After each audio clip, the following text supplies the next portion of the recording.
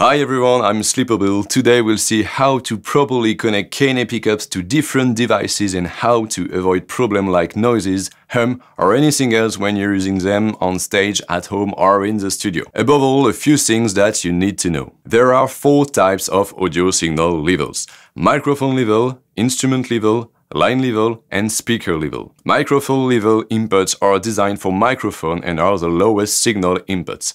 Instrument level inputs are made for guitars, bass or piezo pickups like KNA pickups. Line level inputs are the standard inputs designed for everything from preamplifiers to keyboards and are high signal inputs.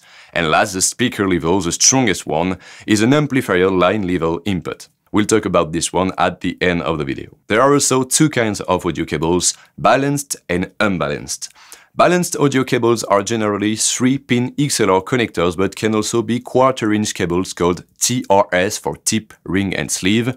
Both of them are used to plug balanced audio gear like microphones to different kinds of equipment, avoiding noises and keeping a good signal even though we use long cables. Unbalanced audio cables are mainly used for instruments like guitar, bass or stereo equipment. We can find two connectors, quarter-inch TS for tip and sleeve, Many of us call them jack or instrument cables and RCA cables that we can find for sending right and left channels from a turntable to an amplifier by instance. Unlike balanced cables which have three conductors, positive polarity, negative polarity and ground wire, instrument cables only have two conductors, signal wire and ground wire. So you can't use too long unbalanced audio cables because the ground wire can pick up unwanted noise as the audio signal travels through it. However, instrument pickups design is made to work with unbalanced cable only. That's why you only see unbalanced quarter-inch cables between a guitar and an amplifier. So the cable quality is really important because it can drastically reduce the noise. Some KNA pickups include quarter-inch cable or 18 to quarter-inch cable in their box, so you must use it to connect your pickup to any equipment. If not, use good quality unbalanced instrument cables. No need to pay hundreds of euros for it, but be sure that they have good shielding and good connectors to avoid too much noises and signal loss. You can also build your own cables by buying connectors and cables separately. Now you have all the basic information, we'll see how to connect KNA pickups to the mixing desk when you play on stage. When you play on stage, you may have to plug your instrument directly into the PA system via the mixing desk. In this configuration, you can plug your KNA pickup in the line level input of the mixing desk using a quarter-inch unbalanced cable. However, it's highly likely to get a lot of noise and weak signal. Indeed, the KNA pickup has an instrument level output and will be weak into line level input. That's why you should use a DI box to plug your KNA pickup into a microphone balanced input of the mixer. The DI box will convert the low impedance signal of an instrument to a high impedance signal of a microphone input. It will also convert unbalanced audio signal to balanced audio signal. That way, you can use an XLR balanced cable to plug the KNA pickups into microphone input and get rid of noise and low signal. Be sure to buy a good quality and active DI box, which means it works with a battery or a power supply. You'll need power to get the most of your pickup. It's very easy to use, just plug your instrument cable into the input of the DI box and plug an XLR cable from the output of the DI box to the XLR microphone input of your mixing desk. Don't forget to switch the DI box on, very often you can use a 48 volt phantom power available on most mixing desks to supply the DI box so you won't need to use a battery or a power supply. You can also use the parallel unbalanced output of the DI to send your signal to an amplifier while the balanced output is connected to the mixer. We'll talk more about the use of an amplifier in the last section of the video. Another kind of equipment can be used to send your signal to the mixing desk, a preamplifier. I'm talking about acoustic instrument stage-ready preamplifier, mostly in a pedal format, not studio rack preamplifiers like Avalon or Neve Gear, which can work in a studio but are not really practical on stage. Most of them are designed for acoustic guitar but work perfectly with other acoustic instruments. Acoustic guitar preamps are quite like DI boxes, they convert the high impedance signal of the pickup to a low impedance microphone signal, but they add some functionalities. Very often you'll find an equalizer, a tuner or a gain booster. With a preamp, you can shape your sound before the mixing desk. It's great when you know the sound that you need and want to send a pre-produced signal to the mixing desk. Connectors are the same as the DI box. For some reason, some noises, hum or buzz can occur when plugging your instrument into a mixing desk even using a DI or a preamp. It's probably a ground loop issue. In this case, use the ground lift switch of your DI or your preamp to avoid any problems. We just saw how to connect KNA pickups into a mixing desk, now we'll talk about recording when you want to plug your instruments into your computer at home or in the studio.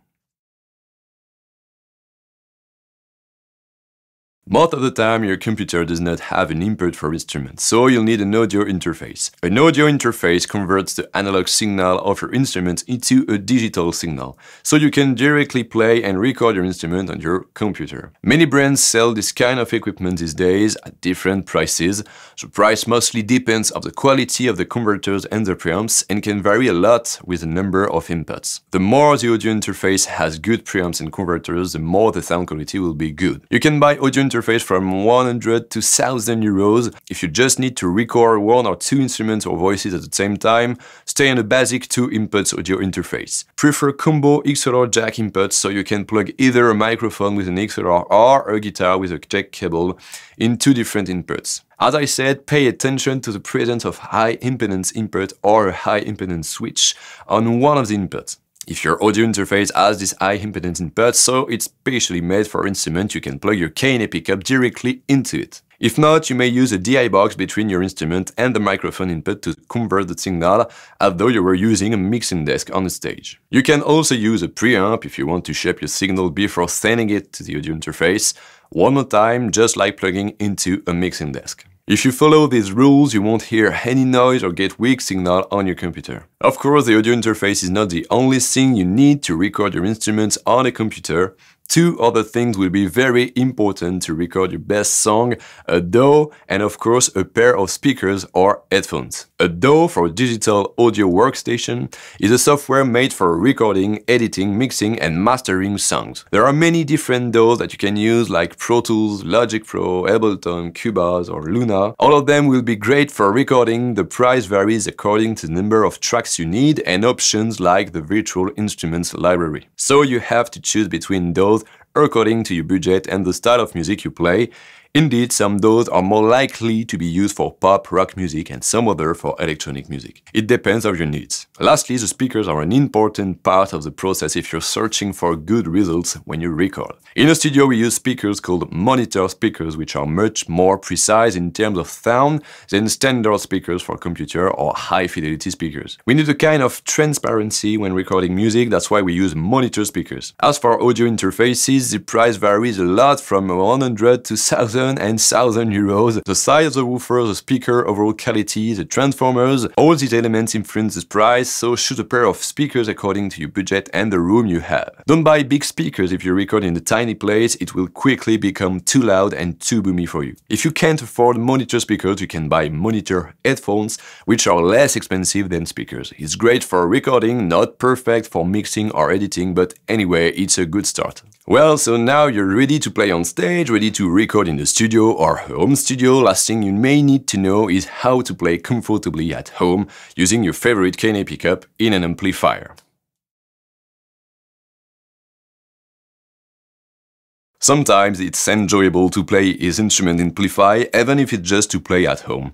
You won't need a PA system or a computer with an audio interface for it, you can simply use an amplifier. To be a bit more accurate, we talk about acoustic amplifiers. Most of them are designed for acoustic guitar, but in a way, it will work perfectly with any kind of acoustic instrument, except for bass or upright bass which have acoustic amplifiers specially designed for them with bigger woofer. So you'll be able to play any KNA pickup with an acoustic amplifier. To understand what acoustic amplifiers are, we can say that they are just like a PA system with a mixing desk in a tiny combo format with a natural transparent sound. In short, there are three components inside an acoustic amplifier a preamplifier which allows adjusting equalization and gain, an amplifier to bring the power, and a speaker to convert the signals into a sound. These components can be all linked together in the same cabinet, this is what we call combo amp, but sometimes you can find head and cabinet separately. The head contains the preamp and the amp, and the speaker is in another cabinet. Some people prefer combo amps, some other prefer separate head and cabinet, sometimes because they can change speaker cabinet easily. It's really a personal choice. Be careful if you use a head and cabinet, the level between the head and the speaker will be at speaker level,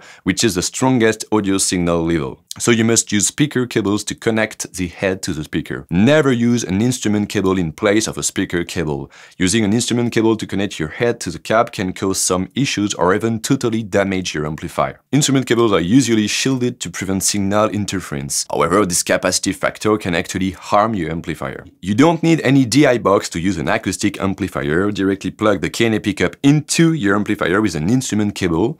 The input is designed for high impedance pickup. You can use a preamp preamp if you want to shape your sound, but the preamp inside the acoustic amplifier is already made for it. Very often, acoustic amplifiers have built-in XLR DI outputs, so you can plug your amplifier into a PA system if you want to play on stage with your favorite amplifier. It's a good solution if you already have the sound you need on your amp and just want to send this signal to the PA just like you were using a preamplifier. Some musicians like to use effects to tweak their sound at home or on stage. Most acoustic amplifiers have built-in reverb and chorus, which are two of the most popular effects for acoustic guitar. It can work perfectly for other instruments too. The reverb will give space and body to your sound and the chorus will thicken your sound in a very musical way. If your amplifier does not have built-in effects, you can use effect pedals. There are a lot of reverb and chorus on the market, depends on your needs.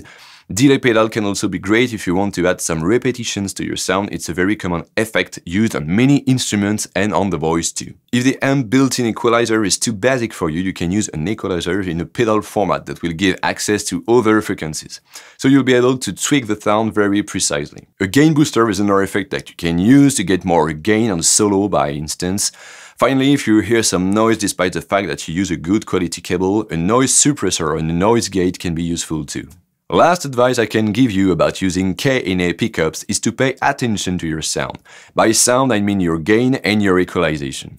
If you play with too much gain, the sound will be likely to distort, and this is something that you have to avoid when you play an acoustic instrument. You need to adjust the gain to get enough response from your instrument while keeping a natural sound. The equalization is another important thing in the overall sound. You really need to take time to adjust bass, medium and high frequencies to get the most of your instrument. Too much bass and the sound will be moody, too much middle will give a boxy sound, and too much treble can make the sound really harsh. Tweak each EQ part from minimum to maximum until you get what you need to make your KNA pickup sound good. Now you know everything that you need to know to use your KNA pickup in any situation. With this instruction, you'll be able to choose the correct equipment to play on stage, to record in the studio, and to play at home without having any troubles with your sound.